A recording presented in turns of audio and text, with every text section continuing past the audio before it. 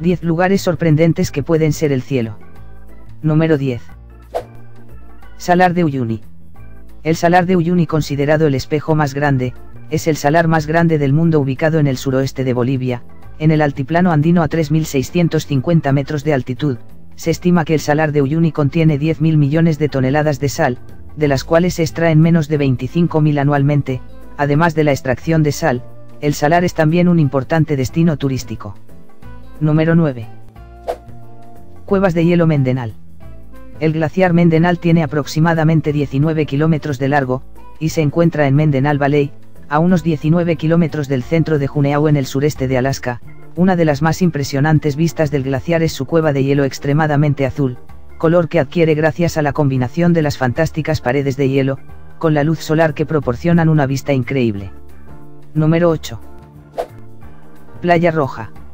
La Playa Roja en la ciudad de Panjin, es un espectáculo natural que acontece anualmente, un tipo de alga encontrada en abundancia en las aguas de esa región, comienza a crecer entre abril y mayo, permaneciendo verde durante todo el verano, con la llegada del otoño, las algas comienzan a morir y se vuelven completamente rojas.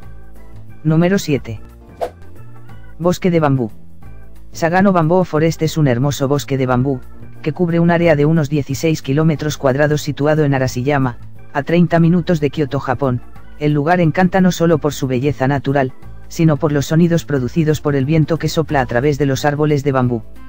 Número 6. Mina de Naika.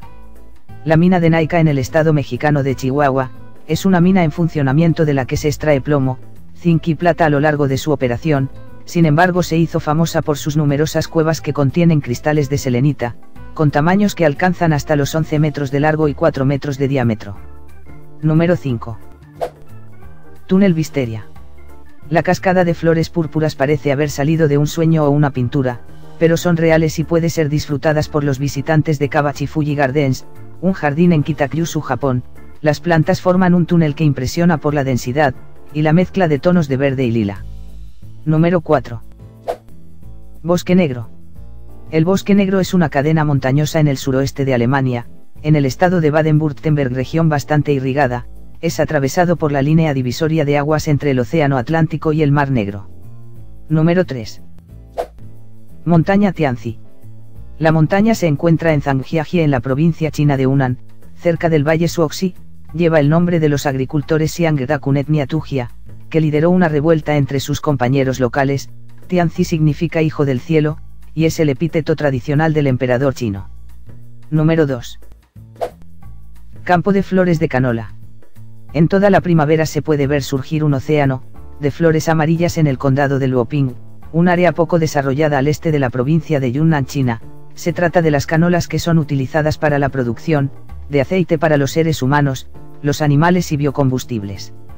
Número 1. Monte Roraima.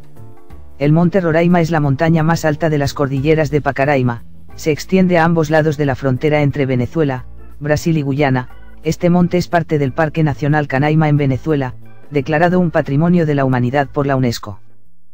Si te gustó el vídeo, dale me gusta, suscríbete y te esperamos en el próximo vídeo.